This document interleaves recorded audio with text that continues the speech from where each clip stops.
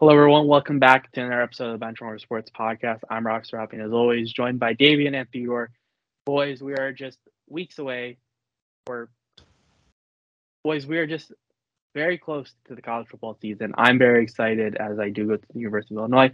We're gonna, I'm gonna watch our team get crushed constantly, but it's gonna be fun because we get to. I'm excited because they play. I know they play Iowa, Purdue, Minnesota, Michigan State. A lot of good schools coming to Illinois. So definitely excited to watch those teams just tear us apart. I'm all for it. Let's go. Maybe I get to run the football field. We'll see. I look forward to that if that's happening. That's one of my dreams, if you guys were wondering. But boys, how are you guys doing today? And then we'll just get right into it. I'm doing um, great. Um, you know, I'm coming into the show very happy. Just had a very um nice football conversation with a couple of my close friends. Um, oh, in a great space right now, so I'm excited for that to continue here. Uh, I I don't know how I'm feeling. I'm feeling kind of dumbfounded because I'm being honest. I don't know. I barely know anything about college football. So all of my takes here are just gonna be, you know, it, they're gonna be the best takes because they're not based off stats or analysis. It's just gonna be from my head, you know. It's just it's it's gonna be like the NCAA March Madness when I predicted Rutgers, Rutgers to go all the way. way. All right, you know it it almost came to fruition. Okay, it just almost came, almost almost. Man, you know, why are you in a Rutgers shirt right now, Davey? And you're letting down your state. I, I don't have a Rutgers shirt. I do have a Harvard shirt though, and I love Ryan Fitzpatrick, so that's why I'm wearing a Harvard shirt. So you know, you need more facial hair you're truly a Ryan Fitzpatrick. Yeah, fan. I know, I know. And then we have Theodore, who I don't know if that's a rack of weights, but Theodore was definitely getting a pump in before this podcast. Yeah. So we'll get right into the Ed Orgeron vibe. Obviously, he got fired by LSU. Go they brought in they they brought in Brian Kelly with his uh, southern accent, his deep southern accent. But anyways, let's just get right into it. Obviously, we're gonna go through the Power Five, and we're gonna give our takes on who we think's gonna win. Obviously, you have like the American and other conferences. I don't think that there's going to be a team like Cincinnati this upcoming year. I think Cincinnati's still going to be good. They lost, but I think they lost. They lost a lot of pieces, so that's my concern there. Notre Dame. I don't want to hear anything about Notre Dame. I will slander Notre Dame until they join a conference. I don't care about the NBC deal. I don't care about anything. Slander Notre Dame. I'm big anti Notre Dame fan. No, no, no, no. I will fight the Irish. They're not fighting me. But anyways, let's just get right into it. We're gonna start off with the bang to just start it off. SEC. I'm very excited about this. If you guys have been following the TikTok Benchwarmer Sports, you've seen a lot of my predictions for a lot of the higher teams in the SEC. And you would also know by watching that that my opinion is that the Georgia Bulldogs will win the SEC. They will go undefeated. I continue to hold that as of this day, August 15th. I still believe Georgia is going to win the SEC. Yes, you lost out on some pieces, but you still have great assets. And I think you still have Stetson Bennett. And I really value having a quarterback who is has had a year in the system. I think quarterbacks having the next year, having experience in college football, having experience in the SEC, I think that's going to bode very well for Georgia. I have Georgia going through, going undefeated. I think they're going to be Alabama. It's going to be close. And if they lose to Alabama in the SEC championship game, I think Georgia's still going to do well, just like I did last year, regardless of what happens. All right. I think the champion of the Southeastern Conference will be Jimbo Fisher and the Texas A&M Aggies. No, no, who's playing no, quarterback for them? We're gonna go eight and four. It's Bama or Georgia. Flip a coin. I don't care. They're both be in the playoff. No, who's, who's the quarterback? Bama. I'm sorry. Name, name uh, me the quarterback for Texas A&M. The what we're saying, guys. Alabama, all the way. Come on. Roll Tide. Roll Tide. Who, no, you haven't answered my question. Who is the quarterback for Texas A&M? Does anyone know? No, and that's the biggest problem with Texas A&M. They were really good last year, but I think they're very overrated this upcoming season. I think in the preseason yeah. poll, they're number. As I pull it up, they're number seven, number six in the preseason poll. Yeah. There's no way they might be a right. top 25 team. There's no way that they're competing with the likes of Alabama and Georgia this upcoming season. Roll Tide. I think I think Kentucky's yeah. better. I think Tennessee is going to be better. Tennessee is like kind of like the we're back. Texas, we're back kind of slogan, but in the SEC, Florida's going to be better with Anthony Roll Richardson finally being the quarterback. AR-15. David, is there anything else you like? but I just think it's very clear that Georgia, it's going to be Georgia and Alabama as the top two dogs. You're going to have a lot of variety of how Kentucky, how Florida, and other teams do. I just think Texas A&M, the quarterback is the most important position on for any football team, and we don't know who Texas A&M's quarterback is really going to be. There's going to be a quarterback battle. we're going to see what happens, but I just I can't pick Texas A&M going and doing well if I if there's confusion about who's going to be the quarterback for the team. And you lose Charles Cross as well. Obviously, there's conflicts and conflicting opinions on if he's going to be good in the NFL. But that's besides the point. You lose your left tackle too. I think yeah, they had their year last year. I think they're going to take a step back with something. No, I think they're nine and three and four, seven and five. They're basically locked into one of those spots. If you ask me, like they're always a good team who's just not good enough. And look, this is a conversation for a different day, but I'm to briefly say this: when Texas joins the SEC, they will start stealing all of A&M's Texas recruits. Texas A&M is a program that's about to fall off in a huge way. Come back to this clip in five years. I I don't think anyone would dispute that clip or that take regardless because I think it's quite true. We'll see what happens. Obviously, Texas A&M is always going to be little brother, but then again, we see MSU Michigan, and MSU's won a handful of those games over the past couple years. Obviously, last year was a different story, but then again, that Michigan team was very very good, led by Aidan Hutchinson, and with Michigan's defense being that good, it was able to cover the woes of Michigan's quarterback and offense. Texas A&M, they've had great defensive pieces in the past. I don't think their defense is good enough this year to mask those holes, and especially when the SEC is very throughout the season. It's very defense heavy. Defense is very important if you want to go far in the SEC. But once you get into the SEC championship game, once you go further, it's all about the offense. Texas A&M does not have the offense to win those big games going down the stretch, in my personal opinion. But let's go on to the other school in Texas and their conference. Texas horns down as always. You always need me throwing horns down. If you if I ever throw horns up, it is because there's something wrong with me or I'm being kidnapped regardless. But let's just get right into it. Obviously, Oklahoma loses Lincoln Riley. They lose their quarterback Caleb Williams. They lose a ton of pieces, all going to USC. I think OU is going to take a step back. I think as a whole, I'm concerned about the Big 12. I don't think they're going to have a team competing for the college football playoff. Obviously, a Baylor who looked really good this past season. Oklahoma State was really good as well. I think one of those teams will go on to play each other in the Big 12, just like we got last year, and one of those teams will represent the Big 12. But I don't think any team in the Big 12 is going to be good enough. I will say, going back on my horns down statement, that Bijan Robinson is an absolute dog. I yes. have to say this. And if Texas is truly back, it's going to be on the back of Bijan Robinson. I think he's really going to ball out. And if he plays well, it could be well enough. And we'll see what happens with Quinn Ewers as well. He grabbed his bag from Ohio State, the year off from high school. Now he's going to Texas. If he plays well and he's worth the hype, I think Texas can have a really good year. But yeah. I keep hearing Texas is back, Texas is back. I want to see it first before I really pick them going anywhere. Aside from that, I think I'll just say Baylor. I'll just pick Baylor this year, winning the Big 12. I think it's a toss up between Oklahoma State and Baylor. But once again, as I said prior, I don't think any team in the Big 12 is going to really be threatening for a the fourth or third spot in the college football playoff. The Big 12 is my personal favorite conference for college football. Like I just if I can only watch one conference in the regular season, it's going to be the Big 12. I think all these teams, uh, with the exception of uh, Kansas, are generally speaking competitive, can always capable of pulling an upset, always going to give you a fun game, even though there'll uh, probably be no defense. But, but I just think it's very fun football overall. Last year, Oklahoma State and Baylor were both just so close to making the playoff. And, you know, Oklahoma State took out Baylor. They yeah. Took, Baylor would have. You know, make a good argument that Baylor would have gotten the fourth spot if they had scored on the one yard line. I think they had like numerous tries too. Yeah. If they had gotten that one yard, I think Baylor would have been the team representing. Or sorry, I think it was Oklahoma State that I think Baylor made the San Oklahoma State. But regardless, one team was one yard away from going. Eh, yeah, it was Oklahoma State. Sorry, was, Oklahoma yeah. State was one yard away from going to be in the college football playoff. But continue on, Theodore. A one-loss Big 12 champion has to be in, if you ask me. And Texas isn't there yet. It's not going to be them. Oklahoma, not going to be them either. I think um, they'll fall off, like you said. Oklahoma State and Baylor just have to avoid suffering that bad loss. Oklahoma State lost to Iowa State on a um, game, on the last second field goal, if I'm not mistaken And you know, if they'd been able to avoid that one bad outing, they were in.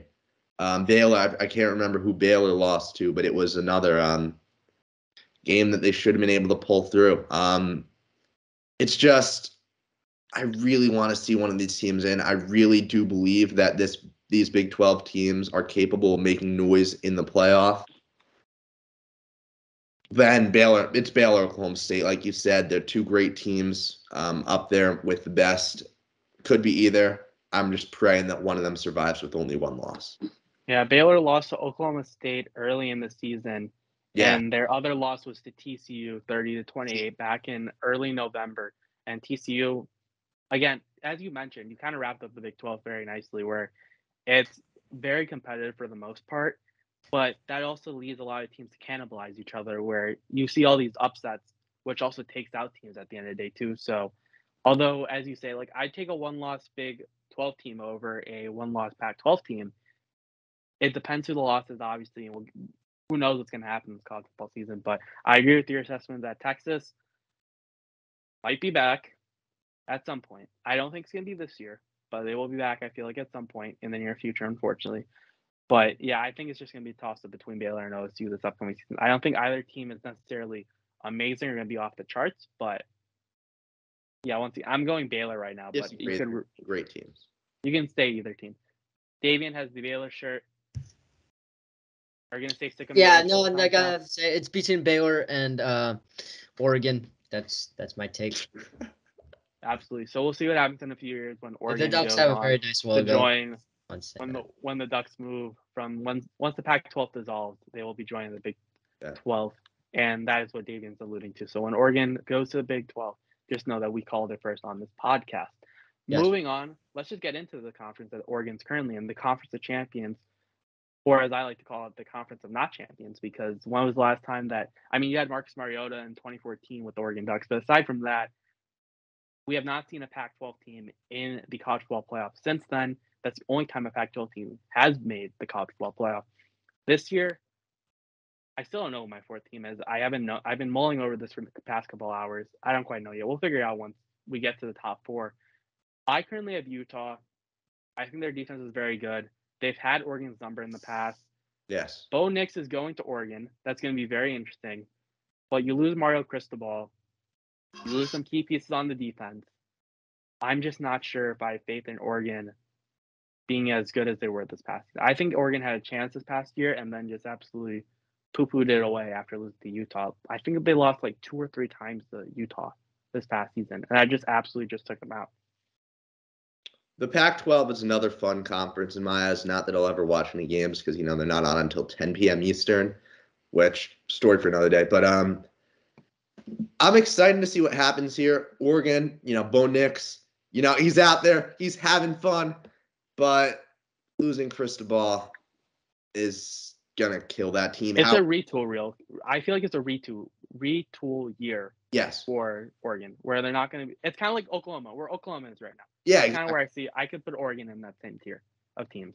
But then you also have USC, who gains Caleb Williams, who gains Lincoln Riley, but you lose Drake London, who is now a member of the Atlanta Falcons, future Super Bowl champion. I don't know what year, but eventually, I, I like to believe the Falcons will win a Super Bowl championship. Every but regardless, year. getting getting back into USC though, my concern lies on the defense.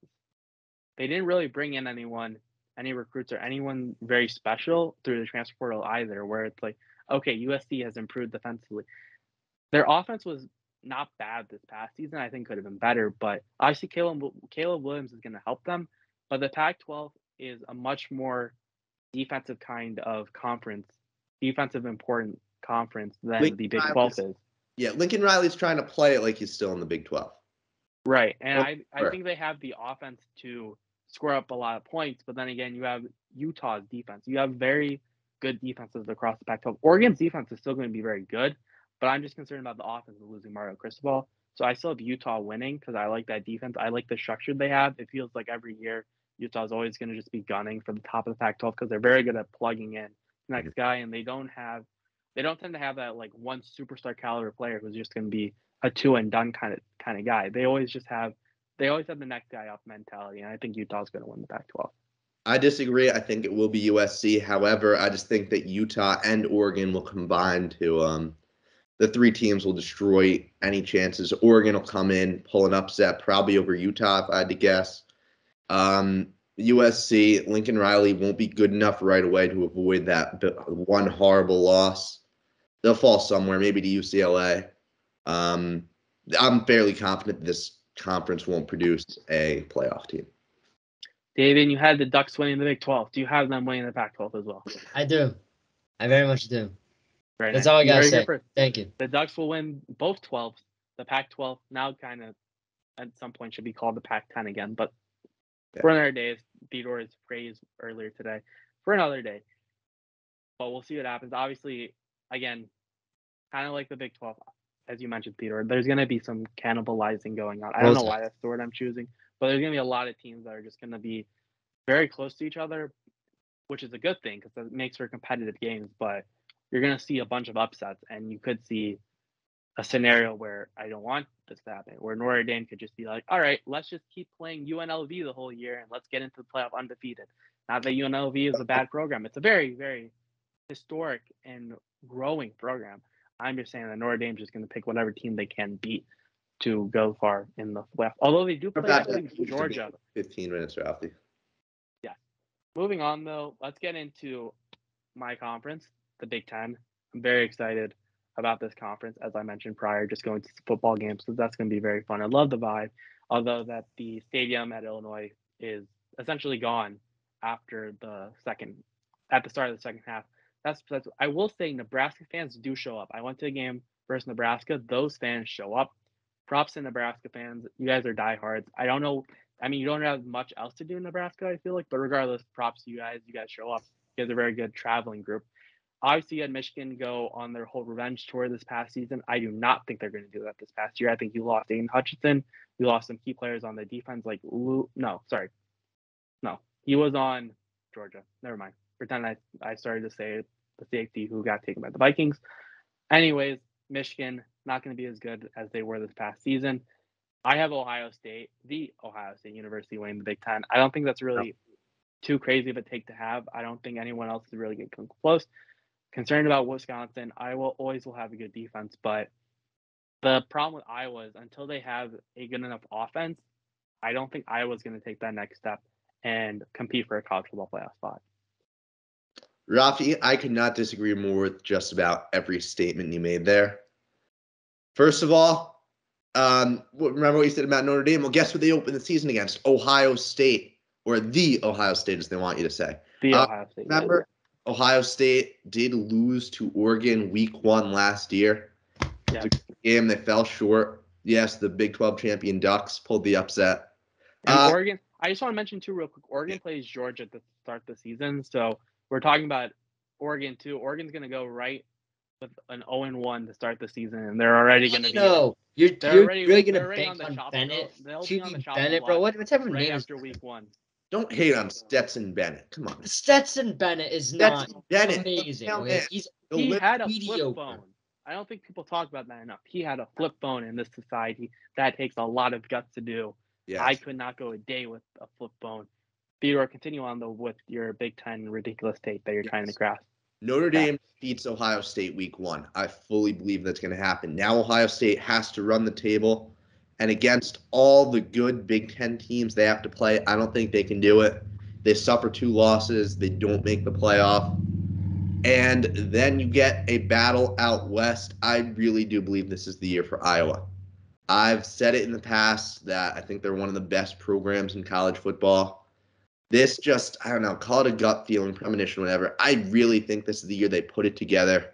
You know, they might, you know, they can afford a loss against Wisconsin who another squad that'll be good.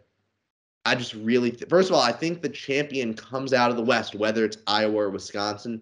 Really strong feeling that it's a one loss Iowa Hawkeyes team that wins the Big Ten. Call me a madman. You are a madman.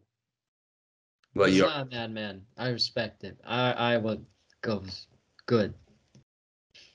You heard it here from Damian Corso. The Hawkeyes will go far this year. Hawkeyes.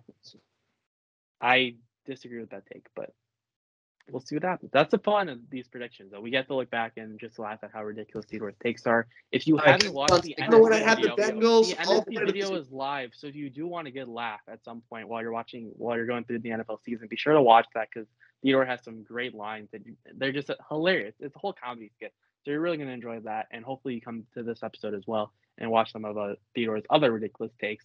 Now, moving on to the conference where I have the hottest take, the ACC, the American Coastal Conference, I believe it's called. I have Miami winning. You bring in Mario Cristobal. I think that they have the pieces in place to potentially shock a lot of people and go on to win the ACC. Clemson, I am concerned about DJ Uiagalelei. He was not that good this past season. I think Clemson is still going to be very good. I think that Miami's going to beat them, though. That's kind of just all I have to say. I kind of want to agree with you. I think that you could be back. I'm really high on Cristobal. Um, I just I've also heard very good Tyler Van Dyke. I've heard very good things about him also entering this upcoming season. About him being a a mid first rounder currently and potentially going up higher in the board. And I know that doesn't matter because we all saw what happened with Sam Howell and essentially every court. Sam Hmm. Rattler was a great example of just absolutely falling off the map, falling right to U, USC and not the good USC, the University of South Carolina. But we saw the quarterback just fall Yeah. completely. But continue with your point. I um up until last week, I was going to be that guy who came out of nowhere and said that Sam Hartman was going to lead Wake Forest to the ACC championship. Sad to see what happened there. Um, I was really high on the Deacons. Uh, that's obviously not going. They're not a threat without Hartman, if we're being real. Um, I really, it's between Clemson and Miami. There's no team in this conference that jumps out at me. I really think that this conference may be the worst out of the Power Five this season, worse than the Pac 12, if you ask me. And, you know, for Clemson and Miami, it's just about avoiding a bad loss. You know, get to the conference championship game with one loss, try to win it, and you're in. That's all it really takes. I I just don't think either team's strong enough to do that. I think I've heard a lot of stuff about NC State potentially playing spoiler. I don't have them winning the ACC, but if you if you wanted to bet on a team pulling off an upset at any point over Miami or Clemson, I think NC State is your team to go to. Davian Rutgers, I believe, was once in the ACC. No, they were in the Big East, I believe. Big East. Regardless, Rutgers is close to a lot of the teams in the ACC. Does Rutgers win the ACC because of that? No, no, no, because you can't do that. Can't because in it's the Big going Ten, be Oregon. Oregon is back. it's only Oregon can do that. Okay, Only Oregon. You know. only Oregon. Okay, only the Mighty Ducks. Okay, I'll- I'll make- I'm, I'm I'm selling. I'm showing fake propaganda. I'm I'm talking fake propaganda. come on. Oregon is only in one conference. You heard it here first. Don't stop. Stop with this ridiculous. We're getting shadow banned for saying that. Don't listen to the fake news out there. There's only one conference that Oregon. But Davian, who's your pick? Um, Clemson. Very Thank nice. you. Also, guys, let me say, and there, there are very few programs that I've um, slandered more in the past than Florida State. Florida State can pull an upset this year. I don't think they're a great No. team. Wrong. I just think a school Wrong. that big is due No. to get lucky once in a while. No. There's no luck. They're not going to be a good no, no. team. I really think they'll go into Clemson, possibly. No. Stop. win No. on the Tigers. Moving on to our top four, we're just gonna get into the college football playoff before we let the or talk about more ridiculousness. If Wait, we did, did we cover the Big Ten? Yes, we did do the Yeah. Big Ten. What? Oh, I was gonna. Oh man, okay. I was gonna go on a whole. Sorry, Davian. Who do you have winning the Big Ten? It's going to be rough. Rutgers. Like, come on, guys. there guys. we there we go. I'm not shocked at all. But anyways, let's get into the top four. I have in, I guess we'll go in, in order. I have the University of Georgia being the one seed once again. I have Ohio State, the Ohio State University being the second seed in the college football playoff. Number three, I have the University of Alabama, Tuscaloosa. Oh my goodness, I've seen so many stuff online. I'm trying to figure out the TikTok algorithm, but all I'm seeing is Alabama rush bids. I don't care who Skylin's going to. I don't care where she's going. I haven't seen people going this crazy about a girl in recruiting since. I mean, I haven't heard this kind of recruitment stuff going on and this much coverage since Arch Manning and his whole ordeal going to Texas. My goodness, you go on TikTok. There's a whole thing about this girl and where she's going to get accepted into. I don't care. Don't care. I'm so glad I'm getting off the whole thing. Number four, I have the Utah Utes. No. no. What? what? I have the Utah Utes. No, look, I think we covered that pretty nicely in the Pac-12. I thought we had reached a consensus that they were just all going to destroy each other. That's what's going to happen in the Big 12 too. That's what's going to happen. I that's going to happen in the ACC. I don't think any team in the ACC is going to win. Yeah. I I just don't like any. I really don't know this year. I think especially we can really just pencil in whoever is the fourth seed as a loss entering the college football playoff. Agreed. I don't think there's. We'll see what happens. I hope there's. I hope there's a team that comes out of nowhere that's just that just falls out. But right now, I mean, look at Michigan this past season. No one had Michigan going. They were not ranked to enter the season, yeah. and they won. So there, there could be a surprise team that comes in. And I hope there is, because I don't know who's going to be the fourth seed, and I really think that whoever's the fourth seed is just let me play the winner of Georgia Alabama in the SEC championship game, and let me get absolutely smacked. But hey, we're gonna make a lot of money in the process. You guys want to hear a dark horse team? USC, USC, Oregon, UCF. Yeah. Mississippi State. Mike Leach is, is finally in a click for him. He was he's the most fun coach in all of college football. Will Rogers is a solid QB. I don't think they're going to be anything special, but if a team's going to put it together this year and put together like a two-loss season, it's going to be Mississippi State. It'd be Rutgers, but yeah. All right, if we're doing our top four though, Bama and Georgia are in. I think Bama will be the one seed. Um, just a guess, really. There's so hard to you know separate these teams right now. Um, yeah, I have Ohio State missing, as I said earlier. Iowa coming in from the Big Ten. Could easily be Wisconsin, though. Um, and then my fourth team is going to be Notre Dame. No. You keep no. saying, you keep making jokes about their schedule. They open the season at Ohio State. They're going to lose to Ohio State. They, are going to lose to Clemson. They're going to lose to USC they're not going to be good this year. And even if they somehow are good, they're not getting in. They have we're not having any of this. Incredible marquee matchups. I and they're losing at least three of them. Three of them and be in. Notre Dame to the college football playoff. No. Yes. And if all right, and they could fall short. Um, I think look, Oklahoma State and Baylor, I think they'll destroy each other. I think any hope of a second, you know, one loss Big Ten team that misses the championship, as has happened in the past, won't fall into fruition. The Pac 12 will destroy each other. There are going to be a lot of really good teams that miss. It's why we need a 12 team playoff. But since we don't have it, Notre Dame gets in. Wrong. No. No. David? Uh, Bama, Georgia, Michigan, Oregon. Thank you. We'll see what happens. Obviously, there's a lot of time and once again, Theodore, don't worry. As we get into the season, you can definitely change your picks as we go along. But we hope you enjoyed this college football preview episode. Be sure to hit the subscribe button so you get all the notifications and you can watch all of our videos. You also get a cookie if you subscribe, a virtual cookie as well. Not a. I, I don't think it would be beneficial if I sent you a cookie from Illinois to wherever you are. But regardless, you get a cookie. And be sure to follow us on TikTok, Benchwarmer underscore sports. You get to see more of Theodore's ridiculous takes. You get to see a bunch of great memes, and you get to see once again as we advertise with their NFC video. You can see the slow progression to madness that Theodore will go into as a New York Giants fan. It's already begun. So you can also see sure David's actually dress. Yeah, yeah, yeah, you can see that too. That is well if you yeah. are enjoying that, that kind of stuff as well. And once again, we hope you enjoyed this episode. Be sure if you're in the fantasy league, we're very excited to get this thing all kicked off and running. It's gonna be a lot of fun. And yeah, that's all for this one. We hope you enjoyed and we hope you have a great rest of your day. Go Tigers. Roll Tide.